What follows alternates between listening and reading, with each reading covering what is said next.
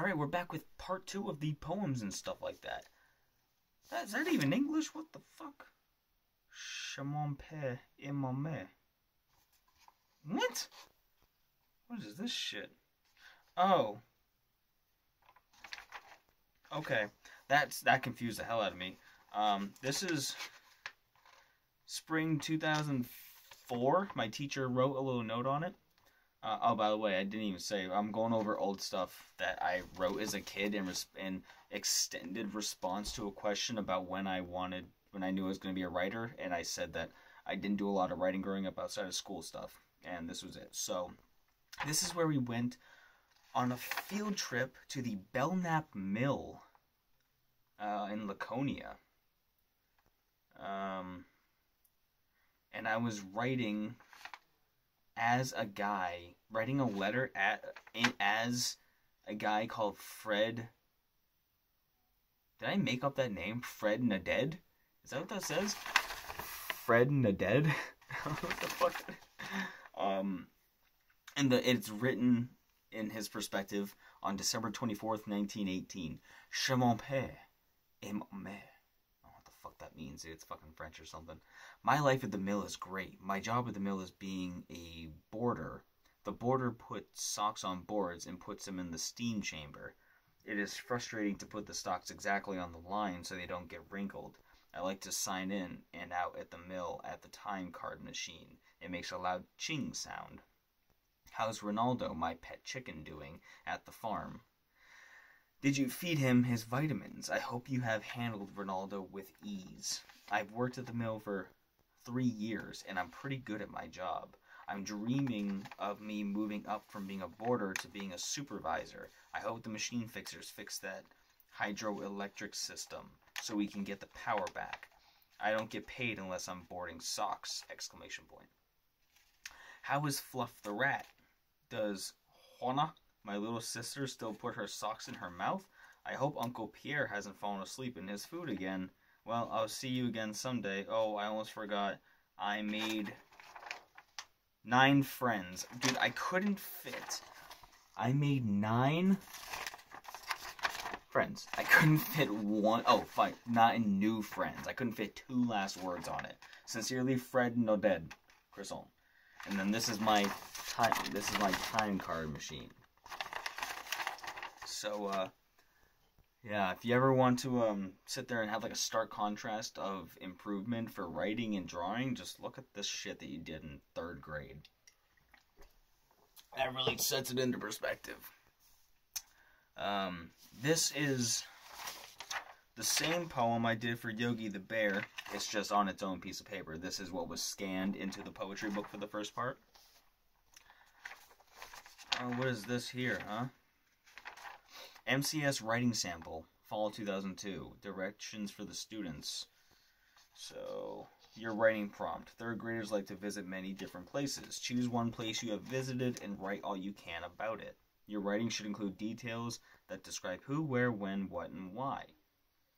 Uh, important reminders for good writing. Your writing should be thoughtful, complete, and on topic from beginning to end. You should support your ideas with details. Remember that the strength of your sentences, wording, and mechanics adds to the effectiveness of your writing.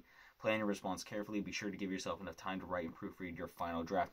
I tell you what, right now, second grade Chris, this is 2002, didn't know what half of those words meant. Nuh-uh, I was dumb. I was a dumb, dumb idiot kid. And this is, oh yeah, so that's like the teacher's instructions for it right there. Um, and then this is my final draft. Buffet King. I don't know if anybody knows a Buffet King, but I used to go there. It was just like a, a big Chinese restaurant, dude. Fucking coolest place ever. Burned down. Um, October 15, 2002. I like to go to Buffet King, but it takes so long to get there. It's probably like an hour, I don't know. But once you get there, you get to eat and drink, and you eat candy and beef teriyaki, spelled T A R Y O C K E Y. It is fun there. Our car is so slow, so no spelled K N O W, so no wonder it takes so long to get there. It's a big place. They have big bathrooms. I get a big appetite once I get there when I'm full, my st- my stomach eeks. That place is great. I you want take a wild guess how I spelled stomach? Take a, a wild guess. S T U M E C K. Stomach. Stomach. Mm, my stomach aches. Spelling was is was never and is still not my strong suit. I'm very bad at spelling. Um, I got two more things right here, and this isn't everything. This is just what I found pretty quickly as I was sifting through a box. Uh, the this is the Adventures of Super Paper, heavily, definitely inspired by Captain Underpants. There is a page on the back of the of the book, a comic book. Okay, so this is the cover art right there. Pretty stellar. Dude, we got so much art going on here. Once upon a time, there lived a superhero named Paper.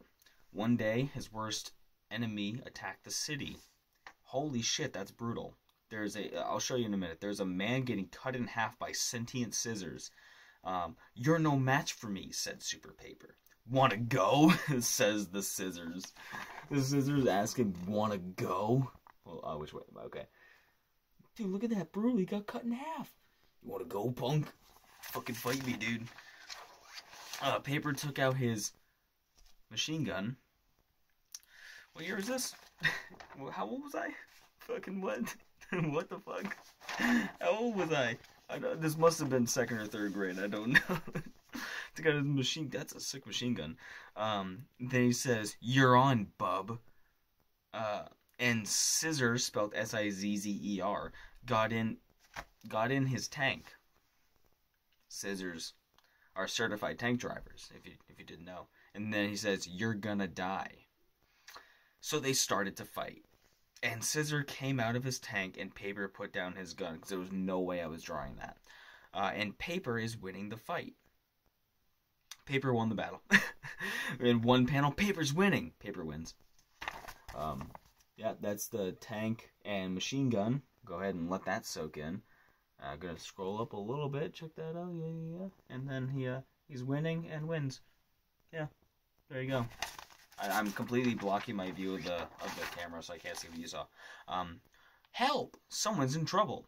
They need me. And this is like a very like um, uh, he's standing on top. It looks like on top of a mountain or a tree, gripping the American flag. They need me.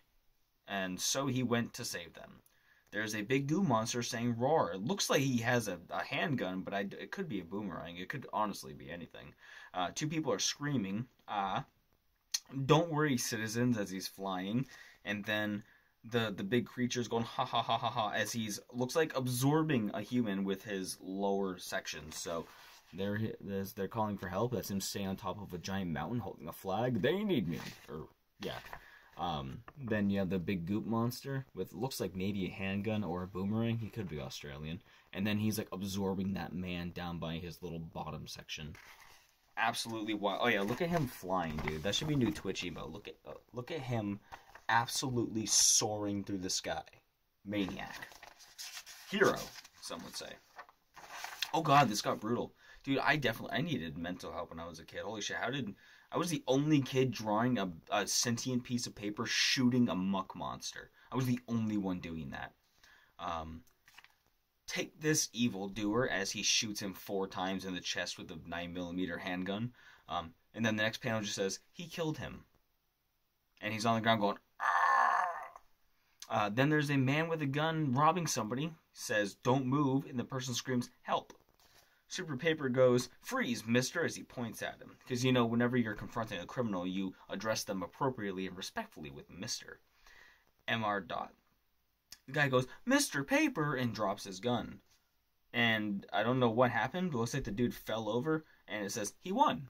So, there's him um, shooting the fuck out of a muck monster, murdering this creature, who is probably just trying to get sustenance, then you have uh, something going on there I can't see. Then you have more somethings going on that I can't see.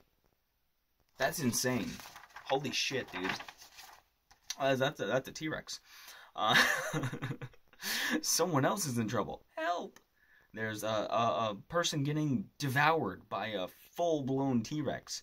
Although looking at it proportionally, I think I got the size right. A T-Rex is known to be like on average 49 feet tall or something like that, and judging by how big that person is, I mean, the T Rex it probably could be a little bit anyway. So Paper is trying to fight the beast, and Paper is losing. Holy shit, dude, his streak is almost over. He's getting punched by a T Rex. Um, okay, bub, you asked for it. And pulls out a laser gun. There's the T Rex. Pretty stellar. Pretty swag. He's getting punched by a T Rex. You know, who, who saw that coming? Not me. I didn't see that coming. Now he has a laser gun. Definitely didn't see that coming. That's a twist for the ages. Somebody call Shyamalan. Uh, then the last panel's on the back. Uh, he gets shot in the cock. Sorry, um, any kids out there. Gets shot in the weenie. Um, so he defeated the beast. Truth and justice never fails, says Mr. Paper. The end. Look for my next book, Paper Against Mr. Milk. Don't want to screw with that guy, dude. He'll give you the poops. My book costs four dollars and that's Mr. Milk, but that looks very inappropriate. So there's the T-Rex getting his uh, colon blasted. I guess the colon. Yeah, yeah, the colon's there. What am I saying? Um, boom. Victory. The end. And look at Mr. Milk. That doesn't look sexual at all. Kind of gross. But I wonder what this would have cost for inflation. Four dollars and fifty cents. I can't look it up. You're you are my phone. Uh, Four dollars and fifty cents back in the day. Back in I I'm assuming 2002 or 2003 because apparently 2002, three, and four was a lot of writing projects. Mountain Dew. Last one. Spring 2004. This is The Runaway Dog by Chris Holm. Check this out. Dude, we got a painting. Got a painting. That's my dog Max, I think. Yeah, that must be Max. Then we have our cat. I think that is that socks? Must be socks. And then we have the bunny Smokey, who all my rabbits in my parents' house had a tragic end because my parents are like, yeah, they're rabbits. They should stay outside in the hutch. Yeah, Dad, it's negative four. Are the rabbits gonna be okay? They weren't okay. They all fucking froze to death. Um, The Runaway Dog by Chris Holm. Once upon a time, there lived a family, the Ulms. Didn't see that one coming. Good night, dear, said Becky, the mom. Good night, honey, said James, the dad. Plot thickens. Mom, Dad, screamed Henry and Chris. Max, the dog, isn't in the basement, said Henry. I'm, I'm glad Henry was like um, really good about making sure that they had all the information needed. Max, the dog, isn't in the basement, said Henry. Yeah, we checked everywhere in the basement and he's gone, cried Chris. Chris, why don't you just pull out a gun and shoot the problem, apparently. I looked out my window, but we didn't see him, interrupted Henry. We have to go find him, said Chris. Not at 9.30 at night, boys, said Mom angrily. Chris and Henry both shouted, please, real loud. Oh, fine. Get your jacket on, boys. We're going to look for Max, said Becky. Yes, shouted Henry and Chris. It's such a... Yeah! We're gonna go look for a missing dog! Super Paper, let's go! Like, it's just so fucking, like, it's so 90s. It's so 90s commercial. Whoa! Super Paper! like, oh, man. Uh, so they got in the Blazer, which is the car we were driving, I guess, at the time, and off they went to search for Max. And this is a true story, by the way. This this didn't all happen in all this detail, but like the dog definitely got out, and we definitely got in the car and drove up and down the road looking for him. This did happen, just not in the way that I wrote it like this. Hey, mom, where do you think a German Shepherd would go if they ran away? asked Chris. I don't know, Chris, said Becky, but let's ask the neighbors if they have seen Max. It's pretty late for that. So they asked for about 30 minutes, saying, He's a German Shepherd, has a German Shepherd run by here, until they heard something yelping. Oh no. Hey, Mom, what was that? asked Chris. I don't know, Chris, said Becky. Let's check it out, cried Henry. So they drove closer to where the sound came from, and to their surprise, they found Max. Max! they all shouted. Oh, kids, look! He's caught in a bear trap, shouted Becky. Which is true, he was caught in a bear trap. I remember that. I remember his on his back left leg, I think. I don't know. Aw, poor Max. Here, let me help you. so Chris pulled and tugged and gasped. A little help would really be appreciated, you fucking asshole, shouted Chris. I didn't say that part, but. So they pulled and pulled, and finally it snapped free. Yes, we got it, said Henry. Then Max jumped up and tried to lick everyone's hands on three legs. Max was whimpering in pain with pain. Then, hold on. Get my get my little tushy comfy. Hold on, my tushy's not quite comfy. Time out. I gotta sit on my pillow because I sink into my bed. My bed is very sinkable. It's super comfy, but it's sinkable. All right. Uh, blah, blah, blah. Then Max jumped up and tried to lick everyone's hands on three legs. Max was whimpering with pain. Then Henry wrapped Max's paws in a bandage. Good thing I brought a first aid kit. Good thing. Suddenly they heard a scream. Help! called a man's voice. I don't know if this happened. Yeah, this definitely did not happen. this I embellished this part of the story. So they drove towards the scream. Then they saw a flipped car. Help! cried the man. Hey, Mom, look, that guy's stuck in a hole, said Chris in a gasp. How can you be in a gasp? Let's get him out, said Henry. How'd you get down there? asked Becky. Well, I was on my way home from work with my new convertible, and I hit this huge bump, and I wasn't seatbelted, and my door wasn't shut tight, so I fell into this large ditch, said the man. Can we help in any way? Sorry, I'm playing this out like it is just a 90s fucking Goosebumps cinematic or something. This dude, all caps, by the way. Yeah, you could start by pulling me out, yelled the man. So they pulled and pulled, but they kept slipping on the mud. Then Max grabbed the man's sleeve and pulled.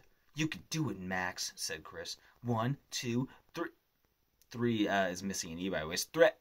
Max pulled him out. Thank you so much. Here, take this, said the man. He handed Becky a bundle of money. What's your name? asked Chris. My name's John, said the man as he drove off. When they got home, they told James, my dad, all about it and went to sleep. But not Henry and Chris. No, no, no. They stayed up all night and made Max a medal out of Chris's old soccer medal and gave it to Max in the morning. The end. So half that story was true. There was no man, I'm sorry for lying to you, there was no man in a convertible that gave us a bundle of money for saving him because he hit a large bump without a seatbelt on and flew out of his car and the car flipped into a ditch. That didn't happen. But we did, in reality, uh, get our dog unstuck from a bear trap. Or some kind of a trap. It was a wildlife trap. I don't remember exactly. Insane stuff. Unhinged, even. Can't believe I didn't shoot the trap with a gun. So that'll about do it. That's some uh, old writing. So we went from that back in 2003. How old was I in 2003? How old how old is somebody? I, I was never good at what what age was I in 2003? I was 10 years old. I was born in 93. Yeah, so 10 years old. Okay, I don't know why that took me so long to get there. I, I forgot that I was born in 93. I was trying to do reverse math of 18 and 12th grade, and I started from the wrong end. I should have started from birth to third grade. I was 10. Coming to now, where I have actual books. Still about roughly the same amount of murder.